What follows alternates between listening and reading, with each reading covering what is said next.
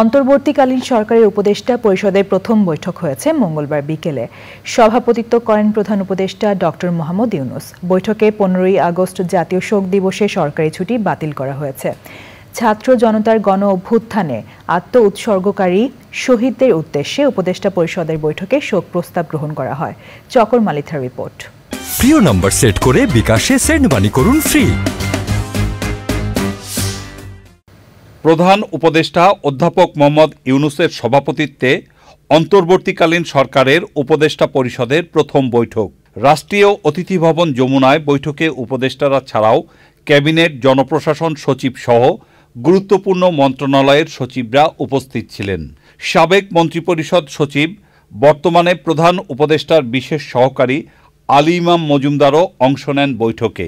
বিকেল সাড়ে চারটায় শুরু হয়ে রাত আটটা পর্যন্ত টানা সাড়ে তিন ঘণ্টা ধরে বৈঠক শেষ করে উপদেষ্টারা একে একে বের হয়ে গেলেও কেউ কথা বলেননি সাংবাদিকদের সাথে। তবে মন্ত্রিপরিষদ বিভাগ থেকে লিখিত একটি প্রেস রিলিজ পাঠানো হয় সাংবাদিকদের কাছে। সেখানে জানানো হয়, রাজনৈতিক দলগুলোর সাথে উপদেষ্টা পরিষদের সংলাপে ঐক্যমতের ভিত্তিতে পনেরোই আগস্টের ছুটি বাতিলের সিদ্ধান্ত নেওয়া হয়। উপদেষ্টা পরিষদের বৈঠকে ছাত্র জনতার গণ অভ্যুত্থানে আত্ম উৎসর্গকারী শহীদদের উদ্দেশ্যে গ্রহণ করা হয় শোক প্রস্তাব। একই সাথে বাংলাদেশ ব্যাংকের গভর্নরের সাতষট্টি বছরের বয়সসীমা বাতিল করা হয়েছে। সাম্প্রতিক অভ্যুত্থানে আহতদের চিকিৎসা ও শহীদের পরিবারের সহায়তা প্রদানে একটি কমিটি গঠনের সিদ্ধান্ত নেওয়া হয়েছে। এই কমিটি গণ অভ্যুত্থানে শহীদ ও আহত ব্যক্তিদের পরিচিতি ও পূর্ণাঙ্গ তালিকা প্রণয়ন করবে।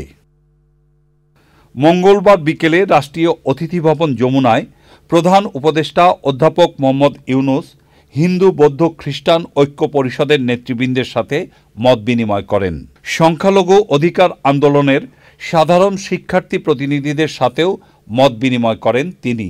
রাতে মায়ের ডাক সংগঠনের সাথে মত বিনিময় করেন প্রধান উপদেষ্টা। Jakar Malitha, channel I, Dhaka.